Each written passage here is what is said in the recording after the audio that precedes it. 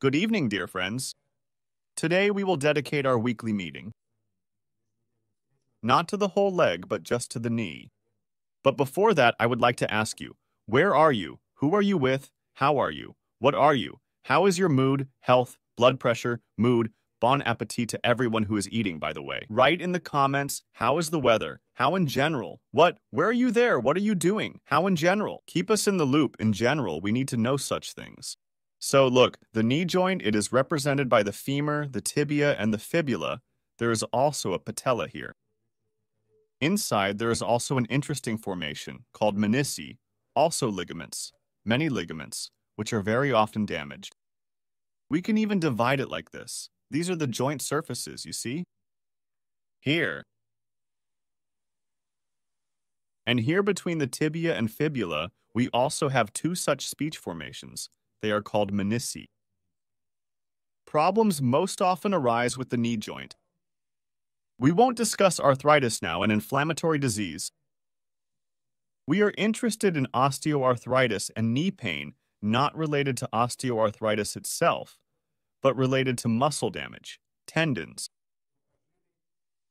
partially ligaments around the knee joint itself. The most common, let's discuss two disorders now that occur in the knee joint, two types of pain. This pain right here in front, right here on the knee itself, right here in front, in the area of the kneecap, a little lower, a little higher it can be. And the second, this is the pain right here inside, on the inner part of the knee joint. Most often they occur during movements. They can be during a step, during squatting, when you sit on a chair, stand up. During movement in general, under load on the stairs, when you go up, go down the stairs. First, we need to conduct a diagnosis, the movement of the knee joint itself, because very often the movement itself damages it. Because the knee starts moving at the wrong angle, the design is intended for a certain movement in the knee joint. It became dirty, I will show it on this, so that your knee does not go beyond the foot during movement. If your knee joint starts to shift excessively inward or outward during movement, well, outward is not as dangerous as excessive movement inward, because this starts to damage, first of all, not the ligaments, of course, but the attachment points of the adductor muscles, which often become inflamed as a result.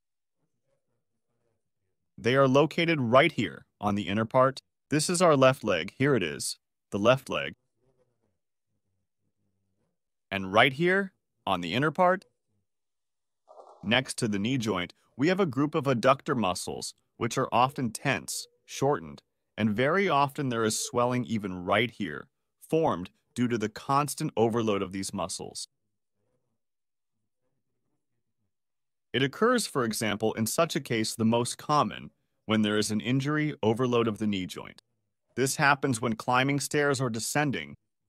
When we put our foot down, the knee starts to go inward in relation to the foot, and we rise. Or when the foot is at an angle and the knee moves forward like this. This is also a dangerous position for the knee joint, in which muscle injuries, tendon injuries can occur, and the meniscus can also be injured, damaged. There can even be a partial tear. What are the dangers of walking, including when your feet are turned out? Also, in this case, your knee, it moves forward, while your foot is turned outward.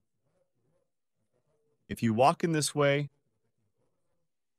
there is a high risk of damaging your knee joint, of injuring your knee joint. Therefore, this should be avoided. How can this be avoided? We will talk about this now as well.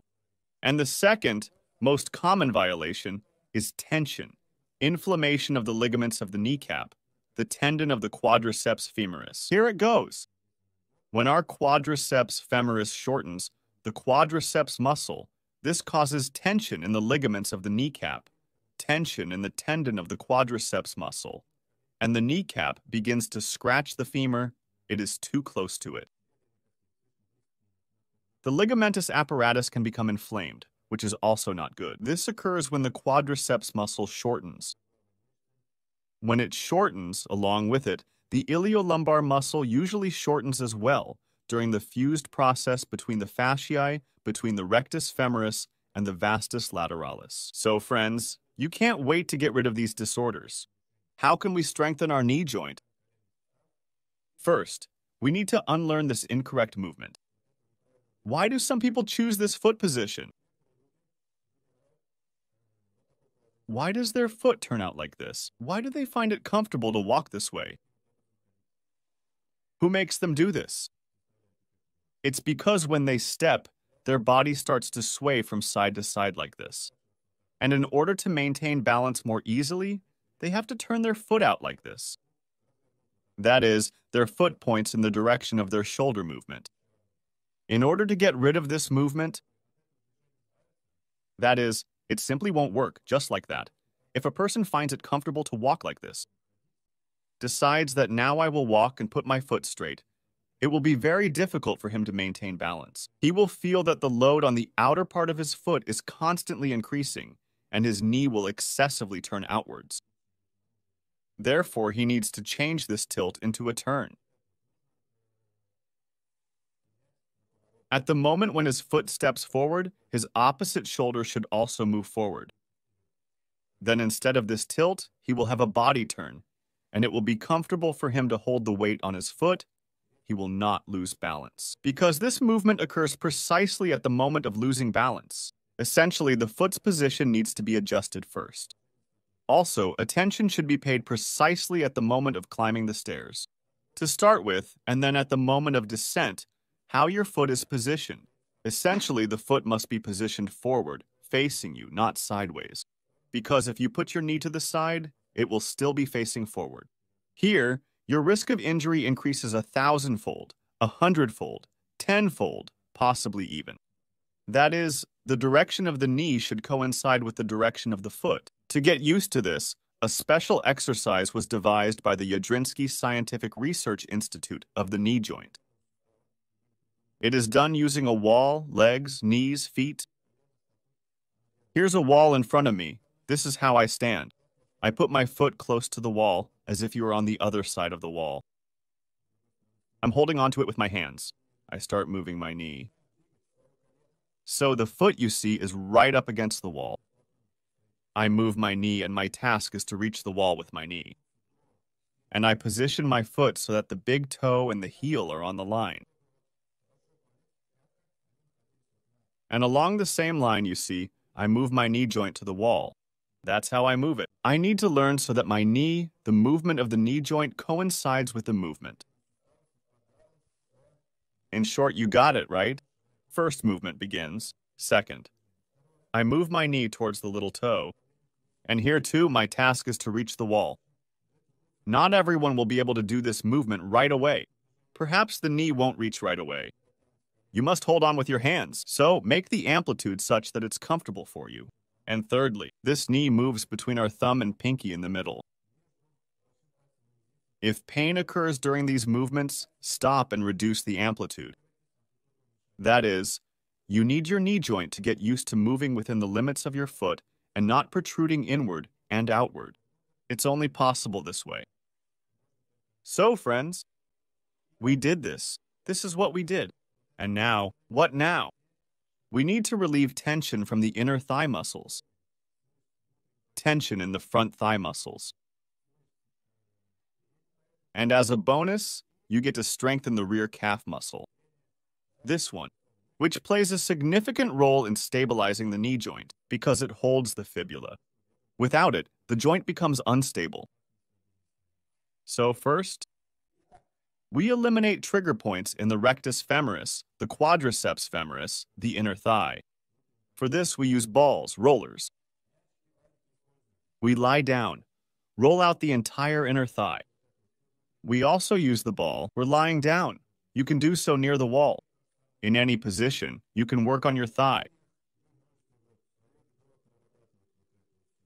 The inner surface of the thigh as well. You lie down as if I lay down. Imagine, and you work on your inner thigh surface here.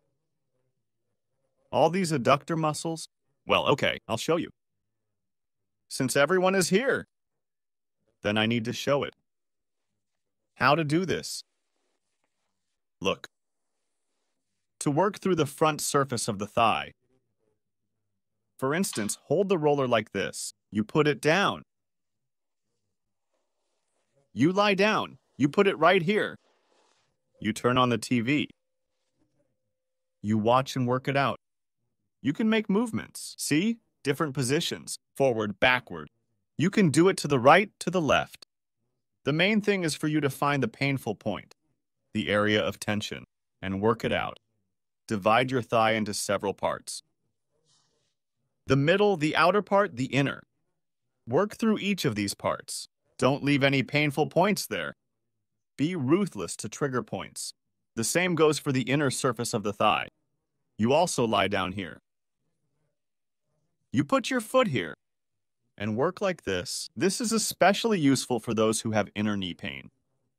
You need to massage not the place that hurts, but above it, on the inner surface of the thigh. Here you need to work through all the painful areas that you have.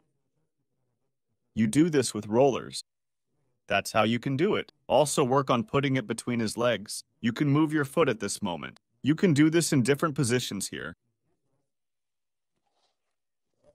Balls can be used too, but it's better to begin with a roller. This will already bring relief. The tension will decrease after this. We've completed everything. Now muscle strengthening. Which muscles should be strengthened first for knee joint stabilization? It's the quadriceps muscle. You need to work it out, massage it, and strengthen it. The exercise to strengthen it primarily involves everything related to straightening the leg. Try doing this without any load at first. Then you can do it with a load. Secure the rubber band and start pulling upwards. Right here, your quadriceps muscle is working. Here it is tensing up. This is how you strengthen it. It's very important for stabilizing the knee joint, for the mobility of the kneecap. Three sets of 10 to start with. Then you can increase the number of sets. Three to four sets are enough, and the second muscle that needs to be trained when having knee joint problems. It's the gastrocnemius muscle. Sit down on a stool. Here your rubber band is fixed. In the same way it was hooked onto the foot. The rubber band was stretched, and the foot movement goes like this inward.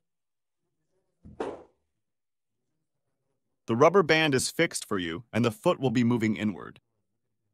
In this way, it works inside for you. Between the tibia and fibula bones, the posterior tibial muscle. So, friends, these exercises will help your knees and you to recover.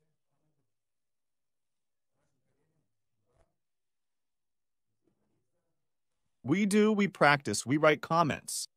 We leave comments. We give likes. Try it. Who, what, who, what, how there. Write it down, okay?